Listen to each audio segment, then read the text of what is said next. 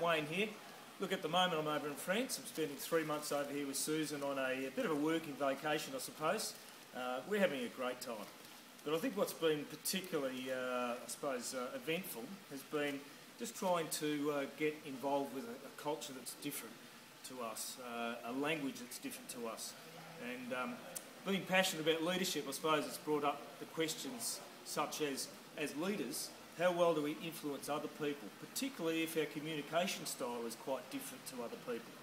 And uh, look, I also wanted to take this opportunity to promote a, a terrific program that we've developed over the, well, the last couple of years called Leadership Now. We're running it on a remote island in uh, Queensland called Lady Elliot Island. And it's a four-day experience, residential, where you're rubbing shoulders with 10 other people that are in a similar role to you in that leadership space.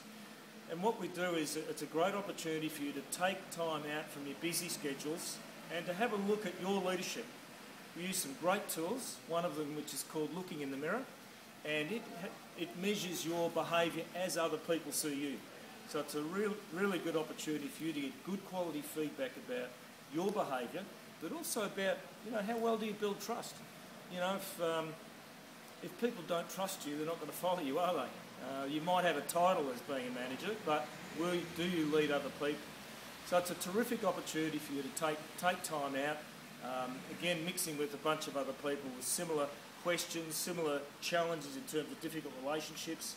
And uh, if you have a look at the uh, content on the email that this goes with, uh, you'll find some details about this program. It's called Leadership Now, North Queensland, end of November.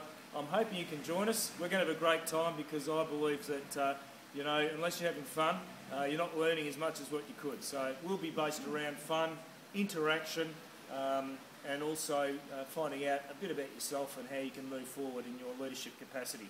So anyway, uh, I'm off to have my baguette, and I'm looking forward to getting back home to Australia and perhaps seeing you on this uh, program, if not, some of your associates. So spread the message around. All the best and au revoir.